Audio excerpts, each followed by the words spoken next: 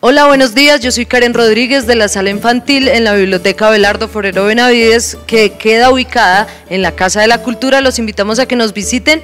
El día de hoy quiero recomendarles este libro increíble. Se llama Buscando amigos para salvar el mundo. Es de Bjarne Roder.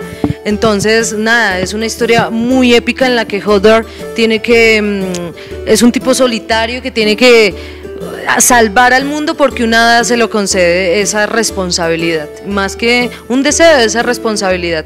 Así es como él tiene que empezar a buscar como un perro azul, su compañero de clase y muchos, muchos, muchos, muchos amigos para mirar de qué manera van a salvar el mundo. El problema es que él es un poco distante, diferente, no es un chico que practique deportes, no es un chico al que le guste la televisión, ni Facebook, ni, ni Instagram, ni nada de eso. Entonces los invito a que descubran qué pasa acá en este título, tienen que visitar una isla y allí es donde realmente la ficción realmente pasa esa frontera hacia la realidad. Los invito a que lo visiten, pueden sacar este texto y todos los que ustedes ven acá alrededor de, la biblioteca con el carnet trayendo dos fotos, fotocopia del documento y fotocopia de un recibo público. De tal manera ustedes hacen la operación de sacar el carnet de la biblioteca y así pueden llevar dos títulos de, de las salas, generales, infantiles y aprovechar al máximo todos estos ejemplares. Un saludo y que estén muy bien. Gracias. Van volando hacia la ciudad. Es una noche de viernes, fría pero clara, y aunque es tarde sigue habiendo gente en la calle. Sus voces se oyen en los callejones estrechos. A Hodor le encanta la ciudad, las casas oscuras, las ventanas amarillas y toda esa gente que no tiene otra cosa que hacer que ir al café y darse besos, recenar y emprender el camino a casa bajo las estrellas. Una vez el padre de Hodor dijo que la ciudad cambiaba de color según el estado de ánimo del mar. Estaban sentados sobre un tejado plano con vistas a todo Copenhague, de abajo a casi todo el narcarado mar y a un cartel con un Toyota rojo. Era verano y el viento era cálido. La noche no estaba realmente oscura, ni siquiera parecía de noche. Simplemente era que el día jugaba al escondite. El padre de Hodor señaló en dirección al mar. Esta noche está plateada, dijo.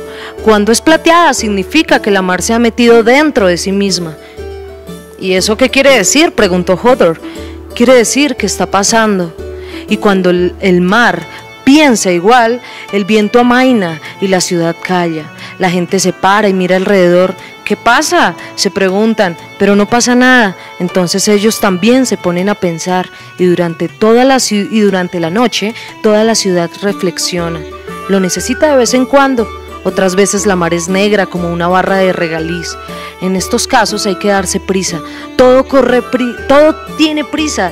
Deprisa, deprisa. Los, los coches doblan las esquinas sobre dos ruedas. Los peatones han de saltar para que no los pillen. La música suena a todo volumen. La gente grita para hacerse escuchar. Cada vez más rápido, cada vez más tumulto. Los recién nacidos berrean y sus padres sueltan tacos. Fuego al pitillo. Arriba las copas, arriba el cartel. Prisa, hay que darse prisa, pues la mar está negra. El tiempo es dinero la vida es breve, hay que probarlo todo, deprisa, deprisa. Otras veces es de color azul marino. Este es el momento para soñar, Jodor. Entonces todos nos ponemos a soñar, la gente se sienta afuera bajo la cúpula de la noche, languidece las ventanas con los ojos entornados y allí a lo lejos flota un saxofón amarrado con un hilo a la luna que siempre es amarilla cuando la mar es azul.